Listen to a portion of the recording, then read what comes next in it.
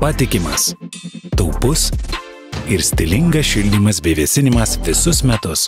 Su Daikin oras oras šilumos siurbliais. Labas Vaidai. Labas Algi. Sveiki visi, kas mumis remet. Buvo besiinteresaujančių, prie kokio ten bunkerio sėdėjai ir galbūt Jo. galėtum Aš, skaityti. gal, aš, ja, aš galvojau iš tikrųjų, kad reikėjo pasakyti, mhm. kur tenai. Tai e, kuršinerijoje, kur smiltinėje įrengtos buvo antro pasaulinio karo laikais 43-44 metais e, prieš lėktuvinės gynybos baterijos. Čia Zahopnikų. Kaip? Zahopnikų Немецко фашистскую Ni- Zahopnikų. Da, da, da точно. Uh, Žmonės klausia, gal aš rusiškai nemoku, bet, bet jau šito tai tikrai. Čia nemoku. baltarusiškai yra Zahopnikai. O tai juo labiau. Mhm. Ir e, ten e, viena iš baterijų, e, tiesiog, kadangi nebuvo vietos, kur filmuoti, ten, kur atostogavau, visur triukšmas, varžybos katerių, ieškau, kur čia eiti, galvoju, tiesiog į, į mišką eisiu, bet tai galvoju, ten kad kokį sutiksiu Briedį. briedį nusilengvinantį. Tai e, ramiausia vieta vis dėlto buvo būtent e, toje buvusioje baterijoje. Aišku, ten nelabai daug kas išlikę, pasižiūrėjau vieną tašką, kitą tašką, galiausiai supratau, kad va, ten, kur filmavau, ten buvo geriausias. Okay. Vaizdas, nu, gal vaizdas ne pats geriausias, nes saulė už medžių pradėjo lysti paskui, bet garsas buvo tenais e, ok. Mhm. Kiek įmanoma, ten vokiečiai, kaip aš minėjau epizode, kad ten vokiečiai pakankamai iš tikrųjų sėkmingai gynėsi, nu, čia tas vat, Klaipados mūšio momentas, yeah. kaip Klaipada išvedavo iš fašistų Zahvalčikų. Zahopnikų. Jo, ir e, iš tikrųjų tai visas mūšis realiai baigėsi 44 pabaigoje, mhm. kai vokiečiai atrėmė e, e, sovietinės e, atakas, e, mėsos atakas, e, susidaužė jie ten galvas ir 45 metų sausį miestą jau realiai ėjo visiškai sugriauta, aišku, bet jie beveik be pasipriešinimo ten patyrė nuostolių, mhm. to, kad buvo daug, kiek pamenu, ir užminuotų pastatų, specialiai palikta, tai nu, sovietai dar patyrė nuostolių mm, ir bandydami, aišku, forsuoti uh, kitą pusę, į smiltinę keltis, tai dar gavo ir nuo tų baterijų, nes ten daugiau yra, ten į, į, buvo įrengta uh, lizdų tiek kulkosvaidžių, tiek pabūklų. Ir uh, šiaip pagalvojau, kad visai įdomi galėtų būti netgi diskusija ateičiai apie tik apie patį Klaipados mūšį tada, kaip tada vyko ir apskritai kaip uh, šį kartą, jeigu tektų mhm. Klaipadą ginti. Nes uh, yra savų iššūkių, aišku, tenais, yra šiaip vietovė tokia įdomesnė. Pastaraisiais metais kariuomenė ten daugiau treniruojasi, Lietuvos kariuomenė turiu menį, sąjungininkai, aišku. Ir kaip tik vienu momentu buvo išplaukę ir specialių operacijų pajėgos, matyti, nu, eilinės pratybas mhm. savo nedidelės. Pro langą matosi tiesiog kaip, kaip plaukia. Tai, tai va, tai labai toks kitoks epizodas gavosi šiek tiek, gal turinio prasme Viskas tradiciškai, bet, bet, bet pati lokacija kaip minčių Okay. patikė, galbūt ateičiai mes dar tenais ir sugrįšim. Žiūrėsim. Okay. Okay. O šiandien tai vis tiek atsispirsiu nuo to, kuo pabaigiau, nes pabaigiau apie tai, kaip kokios mums pamokos yra iš to kursko polimo. Mm, minėjau apie šauktinius tą svarbą, tai bet plačiau šiek tiek, net, jau ne, ne, ne tiek į kurską, kiek kur link veda šita ir ne tik tai šita operacija, daug tokių klaustukų, kas ir kodėl, tai pradedant nuo to, ką baigiau, kas veikia, kas neveikia, pirmiausia. Mhm. Tai akivaizdu, pirmiausiai, kad profesionalus kariai, gerai parengti kariai, jie veikia geriau negu šauktiniai. Čia paminant, kas buvo prieš dešimt metų, arba netgi daugiau svarstyta dar prieš gražinant šaukimą, arba netgi 2008 metais, kai šaukimas Lietuvoje buvo sustabdytas, buvo daug tokių na, diskusijų, pavadinkime, arba pašnekėjimų apie tai, kad ar geras šauktinis yra karys, ar, ar jisai nėra geras. Lygdant su profesionalu. Ir aišku, tada, kai 8 metais buvo šaukimas sustabdytas, tai ta visas akcentas buvo dėtas, kad šauktinių mums nereikia, nes tai prastai parengtas karys, čia profesionalų mums užteks akivaizdu, kad arba nepagalvota, arba nutilėta tiksliau buvo apie rezervo rengimą, tam yra pirmiausiai šauktiniai rengiami. Bet kai gražintas šaukimas buvo 2015 metais, šita diskusija irgi kažkiek atsistumė į šonę apie kario rengimo kokybę.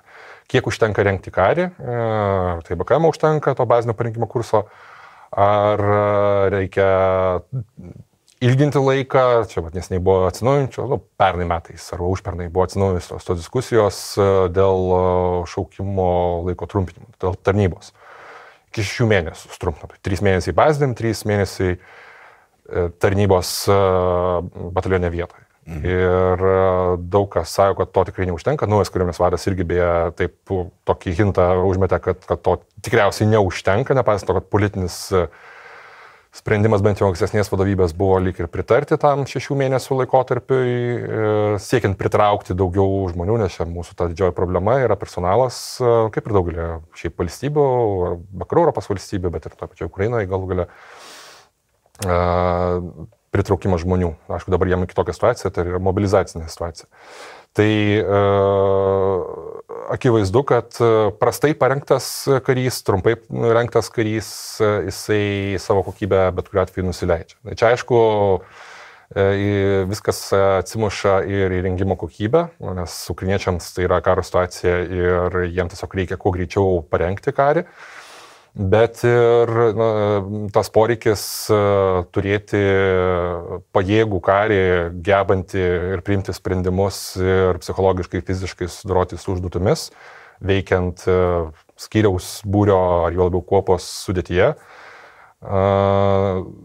Su profesionalais vis tiek viskas yra gerokai paprasčiau, nes nu, jie tiesiog yra profesionalus kariai su šauktiniais prastai apmokytais mes matome, kas tada nutinka. Iš rusų pusės mes matome tie, tuos mėsinius polimus arba šauktinius, kurie e, štai per Kursko polimą iš karto po pirmųjų šūvių praktiškai pasiduoda, nes nenori kariauti, jie yra šauktiniai, jie atvyko, tiksliau buvo atvežti ne į frontų liniją, jam pasisekė, jam taip atrodė, jie atvežami pasienyje tenais būdi. Ir štai tada užgriūna profesionali jėga, tai yra profesionalios ukrainiečių brigados, pasilių operacijų pajėgos, ir juos iš esmės nušluoja. Bet kai tik tai fronte, Kursko fronte pasirodo profesionalus rusų kariai, tai yra iš Hersono permesta, bet čia irgi labai svarbus dalykas, iš Hersono fronto permesta 810 jūrų pėstininkų brigada.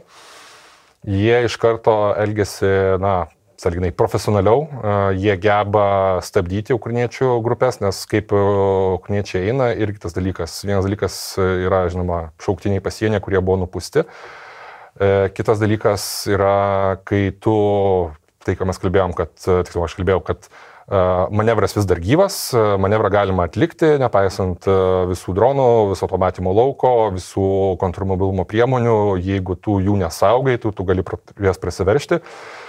Bet e, šito manevro mm, e, silpnosios e, pusės yra tiek logistika aprūpinimas, dabar kol kas jisai vis dar vyksta pro tą pačią, nu, iš esmės pro Sudžos praleidimo punktą buvusi, laisvai važinėja. Netgi dabar, kai Zelenskis buvo sumų srityje, aš jau įsivaizdavau, kad jis vos ne į Rusijos teritoriją galės įžengti, bet nenorėjo rizikuoti. Bet kuriu atveju rusai turėjo, galėjo, gali, turėjo galimybę, galėjo ir vis dar gali subombarduoti tą logistinę liniją, atkertant e, ukrainiečių tą varimą į Rusijos teritorijos pusę. Kol kas jie to nedaro dėl vienokių ir kitokių priežasčių. Bet e, tos mobilios grupės, kadangi manevras veikia, tos mobilios grupės turi savo silpnąją pusę, kad e, jos veikia, jos yra nedidelės. Ir kalbama apie kuopos dydžio vienetus, kurie išsisklaido dar būriais. Mhm. E, mobilios tai reiškia, kad jos šarvuotais automobiliais pas mus atikmuo būtų JLTV, ten yra Kozak, e, įvairūs tie šarvuoti visureigiai, pavadinkime juos, kartais lydi Strikeris arba BTRas. E, didesnė ugnies gali paremti. Visi turi, aišku, granasvedžius, turi grupės savo na, nešiojamos oro gynybos įgla arba stingerius ar panašius. Ir, ir jos yra sunkiai išgaudomas, bet kai tik jis susiduria su pasipriešinimu, tai yra su prasnamiu pasipriešinimu, ta minėta 80-oji brigada, jinai pakankamai efektyviai veikia, jinai medžioja ukrainiečių tuos dalinius, kurie veržiasi gilin, viena vertus taip yra labai toli prasiveržimai, ten kur matome tą ukrainiečių uh, teritorija, kurią jie kontroliuoja, yra vienas, bet dar yra dar toliau, kur ukrainiečių veikimas yra. Veikimas tai reiškia, kad būtent tos mobilios grupės veržiasi tolyn, zonduoja, kur aptinka priešą, ten jį naikina. Bet tas netikėtumo veiksnys jisai yra jaudingas, rusai yra, na, nebūtinai sutelkę daug pajėgų tenais, bet vis tiek permetė šiek tiek rezervų, tai ta 80 brigada viena iš tų rezervų dalių, bet ir taip pat dronai, kurie irgi stebi kelius kuriais ukriniečiai veržėsi rengia pasalas. Ir daug teko jau matyti vaizdų, kaip vat, sunaikintos tos nedidelės ukriniečių kolonos, kurių visas tiesiog sunaikina. E, dronai aptinka taikinius, tada pasala išstatoma, granatsvaidžiais, artilerija kartais e, pribaigia, e, dronais pribaigia tas grupės besvenčių. Tai nėra labai tragiškai dideli nuostoliai, bet vis dėlto vienas būrys, antras būrys, trečias būrys ir visi praktiškai sunaikinami su labai nedideliu belaisvių skaičiumi. Mhm. Tai yra ta kaina, kurią moka va, tokie nedideli daliniai. Uh, jie gali vykdyti manevrą, uh, jie, uh, jų privalumas yra būtent tas, kad jie sugeba sukelti chaosą priešalinės, juos sunku aptikti Rusijos aviacijai, bet būdami nedideli, jie vis dėlto negali, neturi tokios ugnies galios, kad galėtų kažkokį tai rimtą mm, na, rimtą pasipriešinimą sukelti didesniems rusų pajėgoms. E, būtent užnugarėje, ten, kur jie veikia. Tai čia tas nuo antrojo pasaulinio karo laikų iš esmės. Galbūt ir anksčiau galima sakyti veikia, bet kai Britų ir SAS raideriai Long Range ir Reconnaissance Groups, kaip jos veikdavo, tai mes žinome apie jų žygdarbius e, iš istorijos, apie tai, kaip jie sėkmingai, bet buvo labai daug nesėkmingų operacijų kur labai daug tiesiog e, žūdavo patekdami į paslas. Tai tas pats kartojasi ir dabar, čia, nu, tai tiesiog yra kita medalio pusė. Bet pats savaime dalykas, kad e, manevras veikia, jisai yra gyvas e, tomis mobiliomis grupėmis, e, ypač jeigu jisai remiamas ugnies. Jis yra labai svarbus mums, turint omeny, kad Žemaitijos brigada, ypač Žemaitijos brigada, kiti, aišku, vienetai ne tik tai Žemaitijos brigada, bet Žemaitijos brigada pakankamai daug sulauks būtent šitų JLTV, dabar antra, vat, kaip tik šią savaitę partija atvyko, ta didžioji, iš viso bus apie 500 JLTV tų šarvuotų visų reigių. Dalis yra oro gynybos priemonėmis e, ginkluoti, kiti kulkosvaidžiais, e, nuotoliu valdomais kulkosvaidžiais, specialių operacijų pajėgoms daugiau skirta. Ir e, gali ta taktika, jinai gali pasiteisinti vat, būtent tokiame mobiliame kare, ten, kur veikia tos nedidelės grupės, bet labai svarbu yra jų profesionalumas ir labai svarbu yra tada trečias elementas yra valdymas ir vadovavimas. Koks yra vėlgi tas paveikslas tikrasis e, Kurskos srityje, mes iki šiol šimtų procentų nežinom, nepaisant to, kad Sirskis pateikė vat, e, savo pristatymą parlamentui daugiau duomenų apie tai, kaip tenai veikia, kiek tenais yra karių ir panašiai. E, bet tas valdymo ir vadovavimo elementas, jisai yra ne, šiaip svarbus, nes tu paleidi tas nedidelės grupės, jos arba turi ryšį, rusai, kurie naikina šitas grupės, sako, kad jos neturi jokio ryšio, jas tiesiog paleidžia į vieną, į vieną pusę. Nu, aš drįčiau abejoti rusų teiginiais. Uh, net ir tų profesionalių rusų karių teiginiais, specialių operacijų pajėgų karių teiginiais, kad va čia ukrainiečius paleido ir mes jų kolonos nedidelę tą sunaikinome, atvarė dar keturi kozak šitie šarvuoti visureigiai, mes juos irgi sunaikinome, nes jie tiesiog neturėjo jokio ryšio, nu, tikėtina kažkur tai yra tas ryšys ir valdymo vadovavimo grandinė egzistuoja e, ir žvalgyba turėtų kaip ir veikti, bet ne visada tiesiog suveikia vadovauti tokiom nedidelėm grupėm yra žiauriai sudėtinga. Čia priklauso, aišku, nuo sumanimo vadovybės, e, ką jie nori pasiekti vėlgi šitą operaciją. Iki šiol nėra aiškus e, tas planas, bent jau taktinė operacinė prasme. Taktinė prasme tai daugiau mažiau kaip ir aišku. Įsiveržiam, naikinam, kur galim priešą, pridarom nuostolių, tai kas viešai deklaruota, pritraukiam rusų pajėgas daugiau iš tą frontą, galbūt nuimam krūvį nuo kitų, nu, ne, tas nesiseka, nu, taip tik kalbėjom, bet E, operacinis planas, sumanimas kol kas nėra aiškus, juo labiau strateginis yra tiesiog e, spėlionės. Tai, ką sako e, viešai Zelenskis, ar tai, ką mes čia svarstome, tai nebūtinai yra būtent tiesa. Ir čia yra svarbu. Bet kitas dalykas, kai tu šito mobiliom grupėm judi, tu rodai pavyzdį, kad tai yra įmanoma ir pas mus šitas irgi yra taikoma. Algirdo batalionas, kiek žinau, irgi šituo užsiema, pamokas ukriniečiai ima. Tai Algirdo batalionas nėra žemaitijai priklausantis, yra Gilžinio Vilko, na, kumštis pagrindinis su savo kopomis ir su savo vilkais. Ir čia, kai buvo tos pratybos su šauliais, kurie atsigabeno dronus tiek žvalgybinius, tiek FPV, tas buvo labai vertinga. Mhm. Ir na, galima sakyti, tai turėjo būti daroma jau prieš du metus mažiausiai, tai turi būti daroma ne tik tai vienam batalionė, bet ir kituose batalionuose masiškai, ir tam ir iš tikrųjų reikalingas tiek dronų vaidmuo, tiek jų sinergija kartu su sausmos vienetais, su, su manevriniais vienetais. Ir kai batalionas įsiskleidžia keliasdešimt kilometrų teritorijoje, e, gerokai didesnėje negu numatyta, ir veikia va tomis nedėlėmis mobiliomis grupėmis, kur važiuoja keli e, vilkai, keli galbūt Humvee ir be GLTV, nes Humvee yra keičiami GLTV.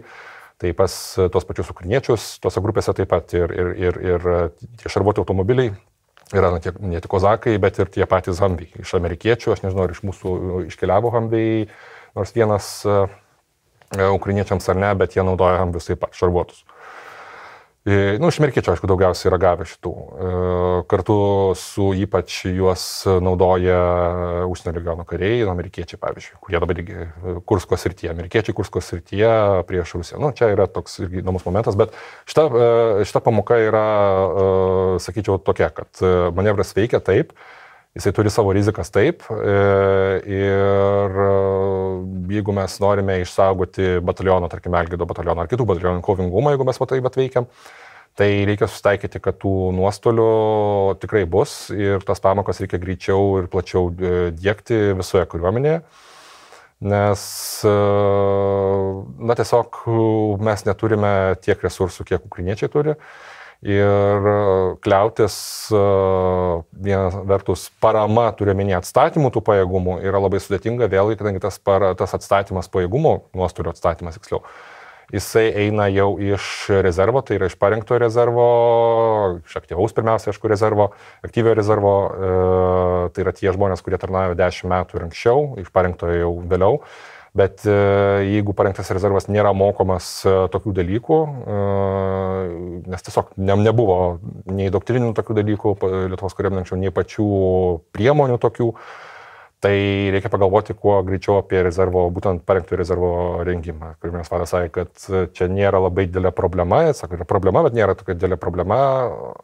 Aš ne tai, kad nesutikčiau su tuo, bet, bet vis dėlto matyčiau poreikį skubiau ir plačiau dėkti vat, šitas vat, pamokas. Uh, Jeigu mes norime išnaudoti manevrą, tai mes to manevrą, taip žiūrint į blogiausią situaciją, kai mes turime ribotų sąjungininkų pajėgumus. Nu, ir blogiausia situacija, nes mes vis tiek sąjungininkų pajėgumus Lietuvoje turime, vis tiek turėsime, kažkokią tai paramą tikriausiai turėsime, oro paramą tikriausiai turėsime, bent jau kažkokią tai.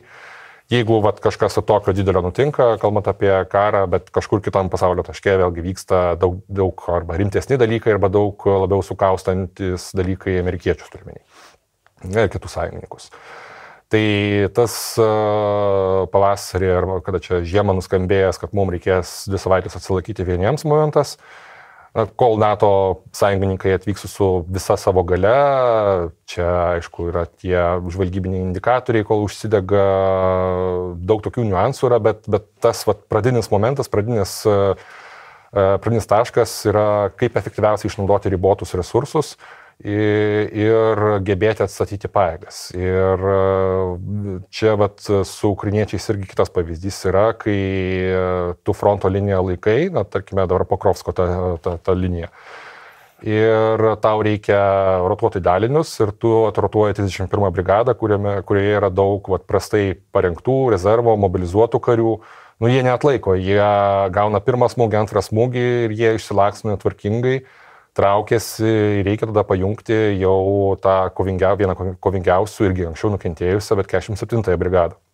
E, tai jinai turi veikti kaip gaisrininkai, vietoj to, kad jinai arba ilsėtus, atstatinėtų savo pajėgas nukentėjusias, arba būtų naudojama kitame sektorėje pagal visai kitokias paskirtį vykdytų kitokias užduotis.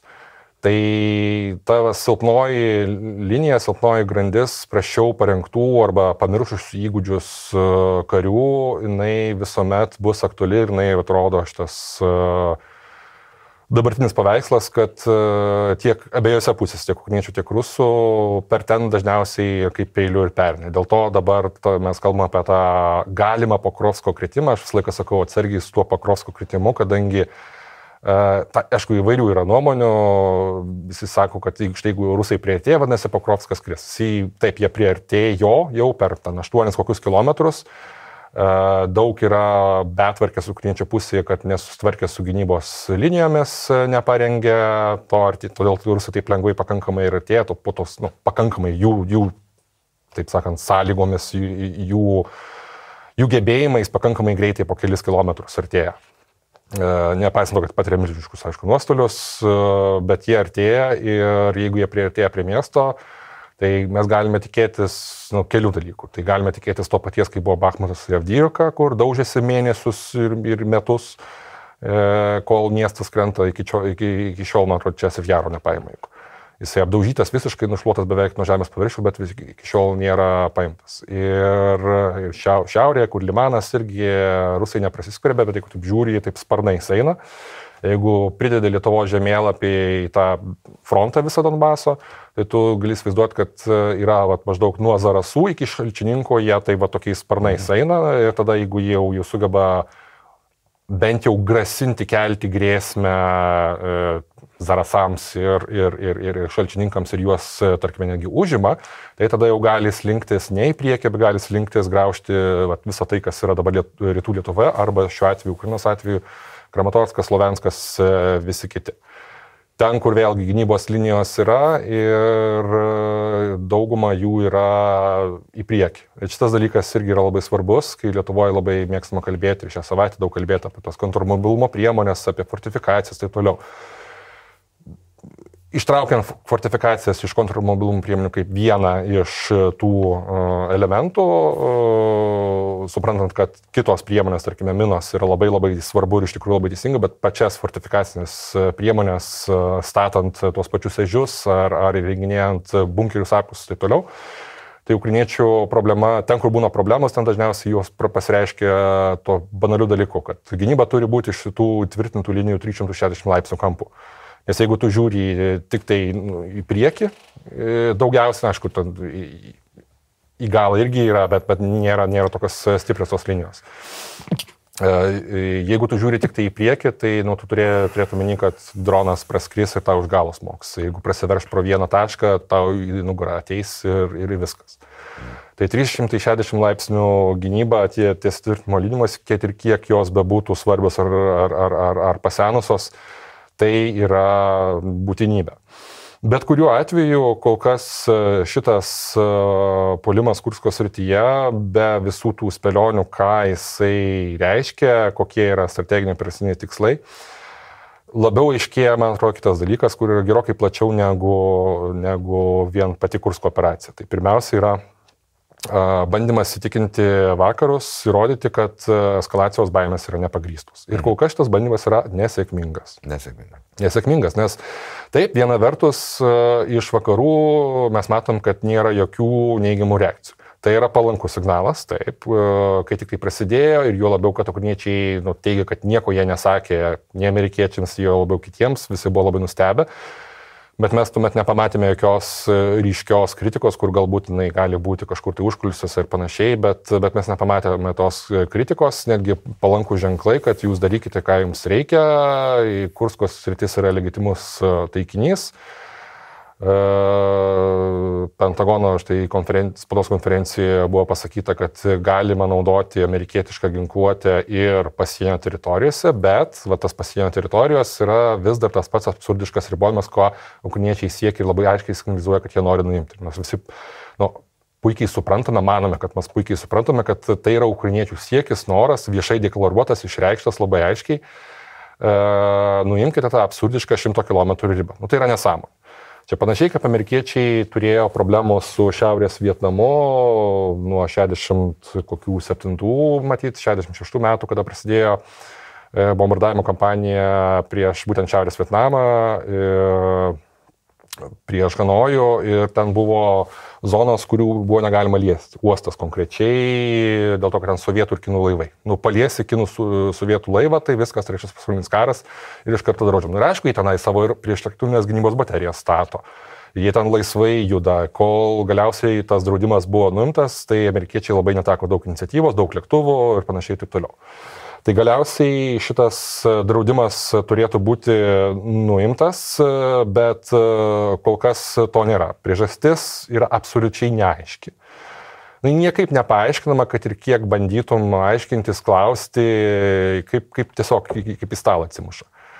E, kur, kur yra logika. Ir nekartą aš minėjau, kad taip tikriausiai egzistuoja, šiandien buvo ir, man atrodo, New York Times šaltinių, tikriausiai egzistuoja kanalai tarp Rusijos ir Junktinių valstijų. O tų kanalų egzistavimas e, tam tikrą prasme gali reikšti, kad yra sustarimas, kad, vat, žiūrėkit, jūs, jūs galite pritarti, galite duoti ginklus ir taip toliau, bet vat, nu, kažkokiu ribojimus taikykite. Ir mes taikysim ribojimus ir amerikiečiai taiko tos ribojimus iki šiol. Uh, Taip, jie yra absurdiški, pirmiausia dėl to, kad kokie yra ukrainiečių siekiai, nu, kodėl jie siekia nuimti tuos ribojimus. Visi atrodo mes irgi manome, kad puikiai žinome kodėl. Tam, kad ukrainiečiai galėtų smogti gilin tiek į telkimo rajonus, tiek į toles, tolimesnius taškus, ypač aviacijos bazės. Mhm iš kur kyla Su-34 ir kiti, ir, ir strateginiai galų galia bombonešiai, su ta ginkluotė, kurią e, ukrainiečiai e, gavo arba tikisi dar gauti, tolimesnių bazių, taip kaip jie pasiekė su savo dronais, nu jiem nu niekaip nepavyks tikriausiai pasiekti, arba būtų labai, labai, labai tokie, na, uh, labai ribotos galimybės. Net jeigu jiem dabar vat, suteiktų leidimą smogti ne 100 km, o tiesiog neribotai, tai vis tiek riboja šūvio nuotolį techninės galimybės. Mhm. Tų pačių Haimarsų šaudant arba šaudant juo labiau takamsais. Tai Haimarsai mes matėme dirba Rusijos teritorijoje, naikina tiltus, tada naikina pontoninius tiltus, bet visa tai vyksta keliolikos, keliasdešimt kilometrų gylyje Rusijos teritorijoje. Tai yra ten, per kur dar jiems yra saugu, vis tiek reikia stovėti, negali atsistoti ant sienos ir šaudyti į Rusijos teritoriją. Tai gali juokauti kiek nori, jeigu, jeigu mums neleidžia takams naudoti 100 km, už 100 km ribos, tai mes pastumsime sieną, 100 km dar naudosime dar 100 km. Čia yra juokas juokais, bet e, vis tiek tu negali rizikuoti tomis brangiamis sistemomis, kurių tu neturi labai daug, keliasdešimt. Nepamirškime. Ir tas e, vėlgi tiek Kursko operacija rodo, kad mes, žiūrėkit, peržengėm liniją, mes naudojam visą e, techniką ir nieko dėl to nėra, raudonos linijos, raudonosios linijos yra peržengtos. Ir jokių eskalacijos požymių, kad čia kažkas tai galėtų būti daugiau negu yra buvę, nėra. Dabar kalbama, vat, kad šį savaitgalį tikėtina yra didelė, didelė Rusijos raketų ataka prieš taikinius Ukrainai, skaitant Kievą, ypač Kievą. Kai tik tai Indijos vadukas Modis išvyks iš, iš Ukrainos, taip tai iš karto ir pasipils šį savaitgalį. Kaip atsakant vat, būtent į, tiek į Kursko šitą operaciją, tiek į kitus veiksmus, o tie kiti veiksmai irgi yra nemažiau svarbus, nes uh, vėlgi rusų, e, ukrainiečių atakos e, dronais, tai ką jie gali daryti. Jos vis mat, matome, kad jos vis dar yra ir vis dar gali būti labai efektyvios, arba bent jau kelti grėsmę ir toli esančiams rusų bazėms. Tai pavyzdžiui, taka nesėkminga taka prieš Alenį bazę, kuri netoli Murmansko, Nu, tai yra labai daug kilometrų nuo Ukrainos sienos ir buvo daug spėlionių rusų šitų propagandistų gretose, kad e, čia tikriausiai iš kokios nors Baltijos šalies pakilo tas bepilotis arba iš Suomijos atskrido, nes nu kaip taip gali per visą Rusiją pravaryti. O gali, matyti tikrai, kad gali, nes mes matėme jau ne vieną atvejį, kaip nuskrenda tūkstantį kilometrų ir daugiau e, tie nedėli, lengvi lėktuvėliai perdaryti į bepiločius su sprogmenimis ir aišku, jie yra lėti Ir tai yra jų problema, nes kaip pasimatė, vat, čia prieš kelias pras buvusi ataka prieš Marinovkos bazę Volgogradas rytyje netoli, buvo į vakarus nuo buvusio Staliningrado. Tai taip didelė žala padaryta, palidovinės nuotraukos rodo, kad yra sunaikinta dalis, mažiausiai dalis orlavių buvusių angaruose, amunicija sunaikinta ten, kur sproginėjo. Uh, Tie angarai yra lengvų konstrukcijų, tai reiškia, kad keurai perėjo tai, kas sprogo ir dalis ten buvusių orlovių buvo sunaikinta. Mm, klausimas kitas, nu, rusai patys sako, kad sunaikinta buvo tik tai tai, kas negalėjo pakilti. Taip sakant, kai tik tai yra signalas apie oro pavojų, jie savo lėktuvus visų jo iš karto scramble, iš karto pakelia Netoliesi yra tas pats Volgogrado oro uostas, jie gali tenai, jie gali ore būti kurį laiką ir kol atskrenda tie dronai lėti, jie skrenda 140 km per valandą greičiu, tai nėra didelis greitis. Kodėl nesugeba numušti, nu čia kitas klausimas, aišku, Rusijos oro gynyba yra reikalinga arčiau fronto linijos ir jeigu prasiskverbia pro ją tokie lengvi lėktuvėliai sugeba nuskristi ar į Murmansko sritį ar į Volgogradą ir smogti oro pajėgų bazėms, kurios turėtų būti dengiamos. Nu taip, tai yra didelė gėda, tai yra didelė problema, tai didelė skylė, kurią matyti ir toliau stengsis išnaudoti, kol rusai nesugebės adaptuotis prie šito. Bet e, jeigu tu pakeli lėktuvus, e, tu išvedi juos ir tenais vis tiek yra sunaikinami lėktuvai, tai klausimas yra, kodėl ten iš viso lėktuvai buvo. Tas e, klausimas turi paprastą atsakymą, kadangi per šituos kelis karo metus Rusijos aviacija, nepaisant savo nesėkmių, tai tikrai nėra pati sėkmingiausia istorija, nepaisant savo nesėkmių, jinai dar priedo prie to patiria labai didelį krūvį tiek personalui, tiek technikai. Technika, kaip žinia, Rusijai su technikos priežiūra yra rimtų problemų istoriškai. Ir didelė dalis e, tų lėktuvų yra naudojami kaip atsarginės dalis, kanibalizuojami. Ir jie sėdi bazai be variklių, be galimybės pakilti ir jeigu jie yra sunaikinami, jeigu ypač sunaikinama dar ta reikalinga įranga, kurią galima būtų panaudoti kaip atsarginės dalis, tai yra labai gerai. Tai net, netgi jeigu sugebėjo tuos veikiančius orlovius uh, pakelti, o sunaikino ukrainiečiai tuos, kurie negali skraidyti, tai tikėkime, kad bent jau sunaikino tas kritinės dalis, kurių reikės vėliau tiems skraidantiems orlaiviams ir mhm. dar daugiau bus neskraidančių orlaivių, tai dar daugiau galima bus sunaikinti neskraidančių orlaivių, kurių neįmanoma išvesti. Nes vienintelis dalykas, kas juos gali apsaugoti, tiksliau du dalykai, tai yra oro gynyba, ar tai būtų raketos, ar tai būtų pansyriai, Ar tai būtų tos pačios senos šilkos, e, tai yra su susporintais 23 e, barots mm pabūklais. Tiesiog jos turėtų techniškai stovėti bazėse, Sirijoje pavyzdžiui yra, o čia nai toliau esančiose bazėse Rusijoje to nėra. Ir jeigu pavyksta numušti kaip Polenijoje, tai pavyksta. Jeigu nepavyksta, tai mes gauname Marinovkos bazės, na, taip kaip jie vadina katastrofą. Ar juo labiau ten, kur uh, Dabar ta naftos e, saugykla sproginėja jau dega penkias mažiausiai berots dienas e, kur plečiasi gaisras ir dar, dar ukniečiai dar sugeba, dar sugeba smogti. Mhm. Ne tai, kad nesugeba rusų užgesinti gaisro, kas, na, nu, aišku, didelis gaisras ir ugnegesiai filmuoja visą tai, aišku, labai padeda uh, tam Battle Damage assess, Assessment, tai yra mūšio žalos įvertinimui. Uh, filmuodami patys ugnigesiai e, prisideda prie to, aha, dega šitą vietą, vadinasi, mes galime dar dronų smogti, pabandom smogti, suveikia, dar kartą smogia dronų, dar didesnis gaisras kyla. Ir tas rusų sugebėjimas arba nesugebėjimas apsaugoti vietos ten, kur įvyko uh, būtent smūgis ukriniečių vykdytas, tai reiškia, kad eina ar kariškiai filmuoja, ar civiliai filmuoja ir paskui tą medžiagą įkelia ar parduoda ją, tą medžiagą ukrainiečiams už pinigus tiesiog nesibodėdami, nu ir kas. Tai yra labai gerai, labai gražu, labai paranku, nereikia tikėtis, kad tai visada bus, bet kol kas jie vis dar sugeba va, taip va, prasileisti ir parodo ir ukrainiečiams pirmiausiai, kas yra svarbu. Dar galingesnės, išmanesnės, efektyvesnės. Daikin Emūra Čia susitinka tyla ir oro kokybė.